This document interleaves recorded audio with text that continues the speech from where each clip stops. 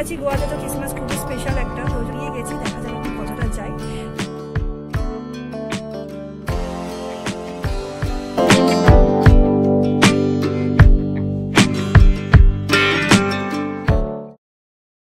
Merry Christmas hi everyone কেমন আছেন সবাই? আশা করছি ভালোই আছেন। আমি দেবস্মিতা। তো আরেকটা ছোট্ট ব্লগ নিয়ে আসলাম। এটা হচ্ছে ক্রিসমাস দিনে আমরা কীভাবে সেলিব্রেট করলাম। তো সেটারই ব্লগ তো এটা হচ্ছে টোয়েন্টি ফিফ ডিসেম্বরের আগের দিনের ব্লগ সন্ধেবেলাতে আমি কেকটা আগের দিনই বানিয়ে নিচ্ছি। কারণ যে টোয়েন্টি ফিফ ডিসেম্বর মানে ক্রিসমাসের দিন অনেক কিছু কাজ থাকে। মানে স্পেশাল রান্না, তারপর আমাদের যেরকম প্ল্যানিং এই বছরের একটু বেরিয়ে, বেরোনোর। তো সে কারণে আমি কেকটা আগের দিনই বানিয়ে নিলাম। আর আমি কেক বানানো অতটা ভালো এক্সপার্ট না, তার জন্য। তো ফ্রুট কেক একটা বানালাম। যেরকম হয়, সব পরিমাণ মতন ময়দা, ডিম, চিনি তারপর হচ্ছে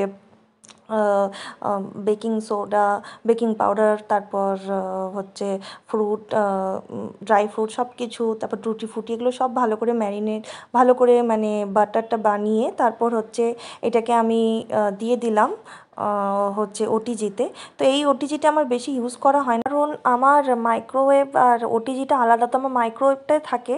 মানে যেখানে ওটিজিটা এখন আছে। আর এই ওটিজিটা মানে বাক্সের মধ্যেই থাকে। কারণ যে তন্দুরি গ্রিল বা কেক টেক এগুলো আমার ঘরে বেশি হয় না। আর তন্দুরি এগুলো তো মানে তন্দুরিটা অত হয় না। ইচ্ছা হলো বাইরের থেকে নিয়ে আসলাম। আর কেকটা করলে কড়াইতে বা প্রেশার কুকারে হয়ে যায়। তো সেই কারণে তো যাই হোক আমি এটা দিয়ে দিলাম হচ্ছে ওয়ান এইট্টি ডিগ্রিতে আর ভাগ ভাগ করে প্রথমে ফিফটিন মিনিটস তারপরে আবার টেন মিনিটস তারপর আবার ফাইভ মিনিটস আর আমি এটা প্রি হেড করেছিলাম টেন মিনিটসের জন্য হচ্ছে আপার আর লোয়ার দুটোতেই মানে হচ্ছে ওয়ান এইট্টি ডিগ্রিতেই তো এই তো কেকটা হয়ে গেল।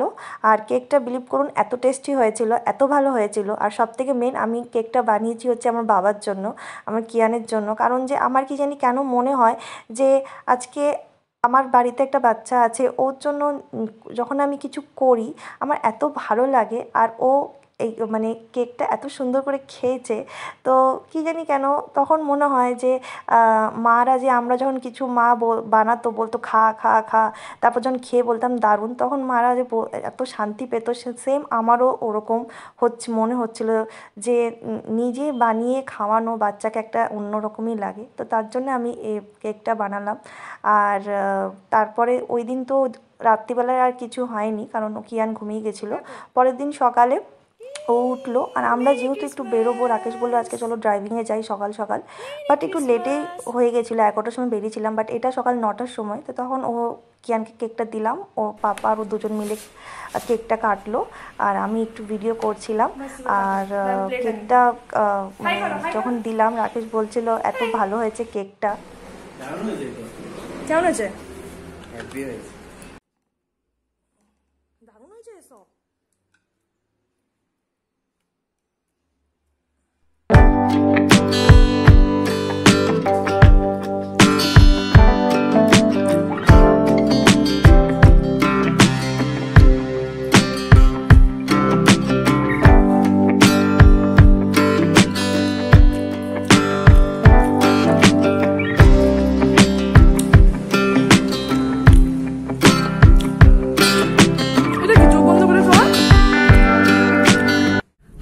মেরি ক্রিসমাস এখন বাজে হচ্ছে এগারোটা পনেরো। সকাল এগারোটা পনেরো বাজে।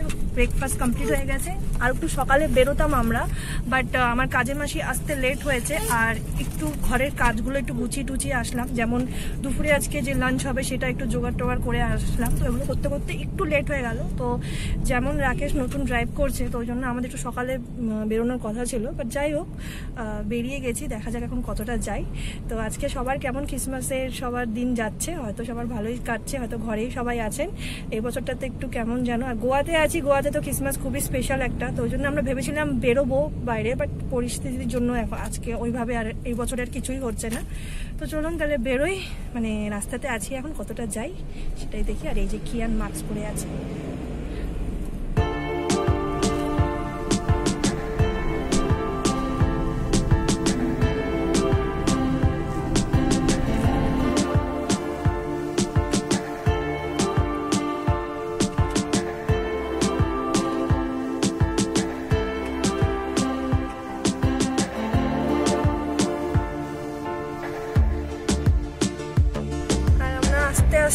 মাঠগাঁওয়ে চলে আসলাম। আজকে একটু গাড়ির ঘোড়া একটু বেশি আছে এখানে। এখানে সব কিছু বন্ধ, দোকান দোকান।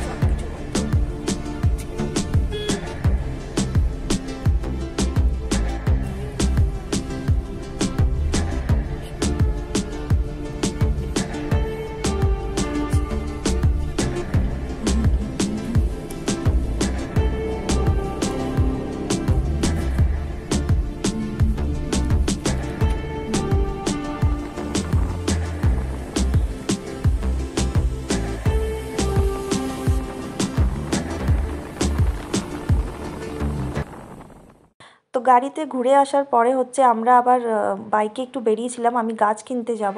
তো যেই রাস্তায় যাব, সেই জায়গাটা হচ্ছে মানে অতটা মানে একটু ভিড় থাকে, তো বাইকে গেলাম। তারপর এসেছি একটা সময় ফটাফট রান্না স্টার্ট করে দিলাম।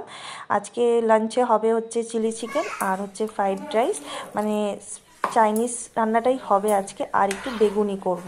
বাট আমি ফার্স্টে কিয়ানের আগে সব মানে খাবারটা রেডি রেখেছিলাম, ওটাই আমি প্রেশার কুকারে বসিয়ে দিলাম, আর কিয়ানকে খাইয়ে দিলাম। চিকেনটা একটু ম্যারিনেট করে দেওয়ার পরে, তো কিয়ানকে তারপর খাইয়ে ঘুম পাড়িয়ে আমি রান্না টান্না প্রিপারেশান নিয়ে নিলাম। একটু লেট হয়ে গেছে লাঞ্চ করতে বাট বাচ্চারটা আগে করে নিয়েছি, তার জন্য আর কোনো টেনশন ছিল না। আমাদের একটু লেট হলেও কোনো ব্যাপার না কারণ আমরা ইচ্ছা করে মানে সব প্ল্যানিং করেই গেছিলাম। তো এই আর কি আজকে ব্লগটা এতটুকুনি। খ্রিসমাসে আমরা কীভাবে কি সেলিব্রেট করলাম আর বিকালে আর কিছুই করিনি ঘরেই ছিলাম সারাদিন। জাস্ট ডিনারে একটু পরোটা করেছিলাম আর চিলি চিকেন ছিল। তো এই জন্য আজকের ব্লগটার বেশি কিছু আর দেখাচ্ছি না আর কিছু নেও তো ঠিক আছে আজকের মতন এতটুকুনি। আর প্লিজ আমার যদি ব্লগটা ভালো লেগে থাকে প্লিজ তাহলে চ্যানেলটা সাবস্ক্রাইব করবেন লাইক করবেন আর কমেন্ট করবেন। আর অবশ্যই প্লিজ পাশে থাকবেন ঠিক আছে? Thank you 어